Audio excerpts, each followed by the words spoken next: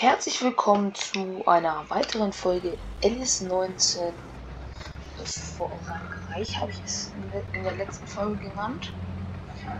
Und zwar, was ist alles passiert? Also in der letzten Folge hatten wir angefangen zu draschen. Dann hatte ich eigentlich noch eine Folge aufgenommen, aber die konnte ich dann nirgends finden. Da wurde mir angezeigt, dass die im Papierkorb war und ich hatte den nach der Aufnahme mal ausgedeckt, weil da so viel Müll drin war. Dann war die auf einmal im Papierkorb. Obwohl ich sie dann nicht mal reingetan hatte.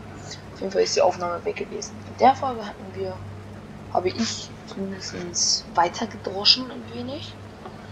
Ähm, wir sind dann noch einmal voll geworden, der Anhänger ist fast voll. Kann man den demnächst auch wegfahren. So schlechter Ertrag ist ja eher leid. Weil, ja, hier ist nicht leider kein schlechter Ertrag. Das war mal wieder komplett.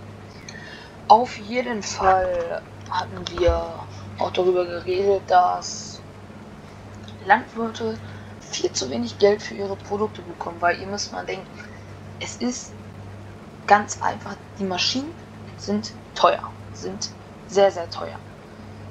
Und dann, wenn jetzt zum Beispiel ein Milchviehwirt aufgibt, weil er kein Geld mehr bekommt, weil er muss die Tier, er muss ähm, die Maschinen abbezahlen, falls, ne, falls es noch nicht seine sind. Er muss sie abbezahlen. Er muss Tierarztkosten, alles tragen. Und dann einen Milchpreis von nicht mal 30 Cent zu bekommen. Pro Liter. Das bedeutet, er kriegt, sagen wir mal, er hat äh, 100. Muss ich gleich erstmal Dinge zu gucken. Sagen wir jetzt mal, er hat 100. Ne, er hat mal 1000. Er hat jetzt mal 1000 Liter Milch in der letzten Woche. Äh, geerntet, würde ich sagen. Mit, äh, von den Kühen bekommen. Das bedeutet 30 Cent mal 1200. 3 mal 12 sind, sind 2400 Euro. Ich glaube nicht. Also ich bin nicht gut in Mathe. Ich sag jetzt nur, dass das 2400 Euro sind, ne? können es selber nochmal ausrechnen, weil ich weiß es nicht. Sagen wir jetzt mal 2400 Euro kriegt er. Und dafür hat er sich eine Woche lang, ist er um 5 aufgestanden, ist in den Stall gegangen, hat die Kühe versorgt, gemolken, hat dann vielleicht Frühstück gemacht und dann ging es irgendwann schon wieder weiter. Also, es ist einfach traurig. Auch der Fleischpreis. Ich glaube, der liegt auch bei paar Cent bloß, nicht mal Euro pro Kilo. Deswegen, manche Bauern sind, haben ja schon den Schritt auf Bio gemacht. Aber für manche wäre das dann halt, für kleine äh, Betriebe wäre das manchmal nicht mehr rentabel. Weil die haben nur Zucht und Milchvieh. Das wäre, dann hätten sie ja keine zweite, dritte, vierte Stütze. Müssten sie anfangen mit Hofladen, Käse produzieren und so weiter und so fort. Dafür muss man ja auch wieder das Geld für die Gebäude haben. Wieder blöd. Finde ich. Und deswegen, ey, gerade ist der, gerade können wir noch die Agrarpolitik, also können wir noch die Landwirtschaft umstrukturieren. Aber da unsere Politiker im Moment pennen und nur noch Verbote, Verbote, Verbote, können sie bald gucken, aus welchem Ausland sie, unsere, sie ihre Nahrung beziehen. Weil irgendwann, ein paar Jahren, sind entweder nur Großbetriebe oder kaum noch Betriebe da, die heimisches äh, produzieren. Das Witzige ist das wird dann wiederum importiert und wir kriegen dann zum Beispiel, wir importieren zum Beispiel Weizen oder so nach äh, China, kriegen Brot zurück. Also nee, ich glaube Brot kriegen wir nicht zurück, aber wir kriegen halt zum Beispiel Reis zurück. Ja, aber Reis kann man auch verzichten, weil wir haben ja unsere gute alte deutsche Kartoffel, die aus Mexiko kommt. Mexiko, also die kommt auf jeden Fall aus Mexiko oder Peru aber sie wird hier auch nicht wenig angeboten. Dann könnte man noch mal überlegen, wäre es doch schlau, hm, wir nehmen weniger Reis an, importieren weniger und exportieren weniger. Dann ist es generell für die Landwirtschaft einfach besser.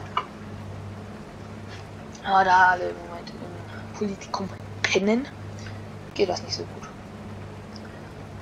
So, also ich mache jetzt hier den Drescher nochmal voll, tanken wir nochmal ab bis der Anhänger voll ist, dann fahren wir den gemeinsam weg. In der Zeit mache ich jetzt erstmal einen Cut. Bis gleich. Moin Leute und ja, also wir sind jetzt hier fertig mit diesem Acker. Seht ihr? Hier ein Teil ist noch mit Strohablage. Und dann habe ich mir gedacht, wäre doch eigentlich zu viel Stroh. Also ich denke jetzt mal, also es ist halt noch ziemlich viel Stroh gewesen, deswegen habe ich hier, nochmal den Häcksler eingeschaltet. So, Anhänger ist voll. Der Wäscher ist noch nicht ganz leer. Das bedeutet, wir fahren jetzt erstmal mit dem Fan zum äh, Hof, kippen das so ab, stellen den Anhänger mitten auf den Hof und fahren dann mit dem Drescher rüber. Dann kippen wir da noch ab. Bei Gelegenheit fahren wir den dann auf, auf Silo. Äh, also ins Silo dann halt. Und ja. Dann holen wir auch direkt schon den Flug raus, nachdem wir abgekippt haben weil der, der Acker hier und der Nachbaracker müssen gepflügt werden. Erstmal mal den Na Nachbaracker. Und da ist nur flach bearbeitet. Da gucken die Steine nur so ein bisschen raus. Äh, ich möchte noch einmal mit dem Flug und Packer drüber fahren, weil dann kommen die Steine gut raus und wir haben noch einen sehr, sehr schönen Ertrag dann. Ist besser als wenn wir jetzt die Steine sammeln, aber es sind äh, aber es sind immer noch ewig viele drinne und dann hin und her ja. Das erste Mal, dass wir so richtig mit einem 700er fahren. Ja, ja, das erste Mal müsste es jetzt eigentlich sein. So, da, hinten steht ja auch noch der Hoflader.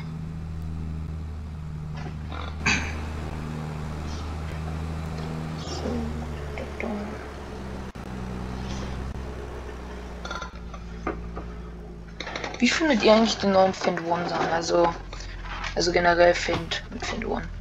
Ich finde das eigentlich sehr interessant, weil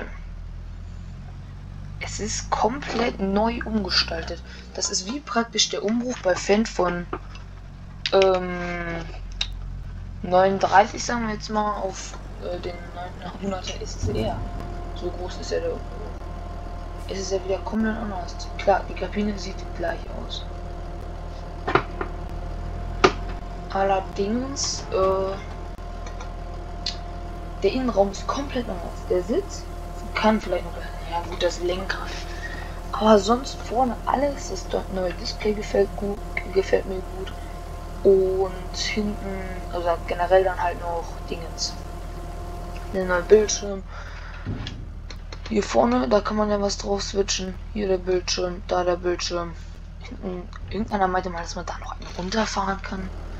Was ich jetzt nicht zustimmen kann, weil ich saß schon mal das war dieses Jahr bei uns auf der Miete der Waldschlepper, so genau der gleiche, nur 724. Und da saß ich noch mal drauf. Und ja, wenn ich es schaffe, kann ich euch eigentlich ein Bild einblenden. Wie es in Real Life aussieht. Klar, also, naja, die meisten haben es wahrscheinlich schon gesehen, aber er sieht halt fast genauso aus. Kann man halt irgendwie auch schon sagen.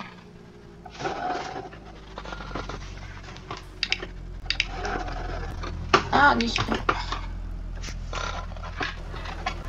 Auf jeden Fall finde ich endlich mal gut, ähm, dass man jetzt so eine endlich mal einen ordentlichen Flug mit bei hat. Scheiße, wir müssen den Mulcher noch vorher rausholen. Ähm, ja gut, obwohl eigentlich müsste es auch äh, ohne Mulcher rausholen gehen. Weil dann fahren wir ähm, dran, heben den an klappen direkt zusammen, fahren raus. Also so viel ist eigentlich noch gar nicht in, diesem, in dieser Halle drin, wo es doch, es ist schon viel. So, jetzt hier so direkt einklappen. Oh, Bild. Perfekt. Aber vor allem generell die Flüge. Ein Flug aus dem 19er gibt es noch, das ist ja der 5-Schar. Dann aus dem Alpine Pack gibt es ja den 3-Schar, also aus dem 19er Alpine Pack. Und was gibt es noch neu? Den großen Quernland, den Lemken gab es auch schon im 19er. Ah, den hier finde ich halt auch so schön. Endlich mal einen, der größer ist als 2,5 Meter und für äh, kleine, sinnvolle Betriebe, würde ich mal sagen, für kleine Betriebe recht gut ist. Dreht der Packer sich jetzt eigentlich mit? Ja. ja warum soll der sich nicht mitdrehen? Nicht der Einzige, der sich immer gedacht hat, wie nimmt man den Packer eigentlich wieder mit nach Hause zum Hof? Weil im Prinzip äh, kann man den ja ausklingen eigentlich. Kann man den ausklingen? Nee, den kann man ja nicht ausklingen. Weil er gleich ab Werk dran ist. Aber ich glaube, in Real Life gibt es auch welche zum Ausklingen und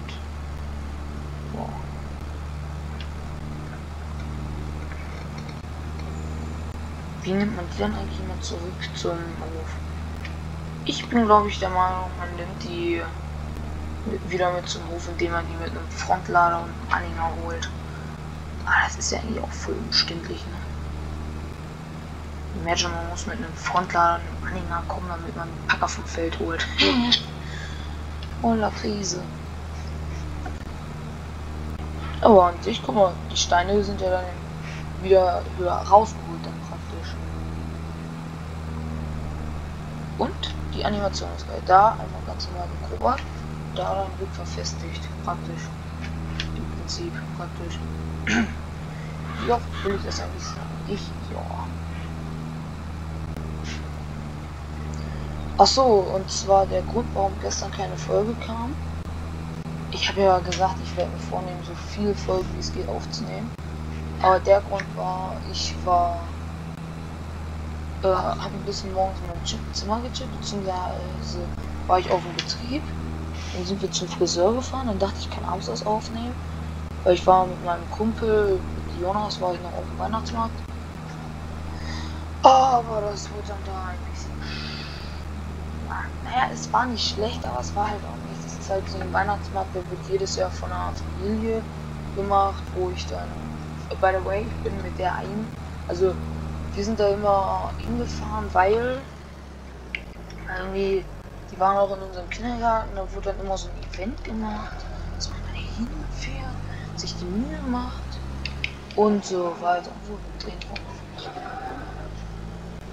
Und an sich schön, aber Burger 5 Euro.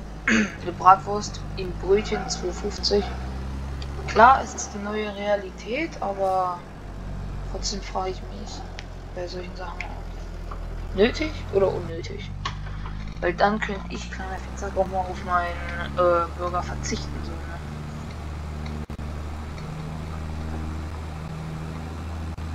Aber ich verzichte nicht gerne auf Essen, was geil schmeckt. Und was viel Kalorien hat. ja, ich bin nicht der Dünnste. Aber der Dümmste, hahaha. Hoppala.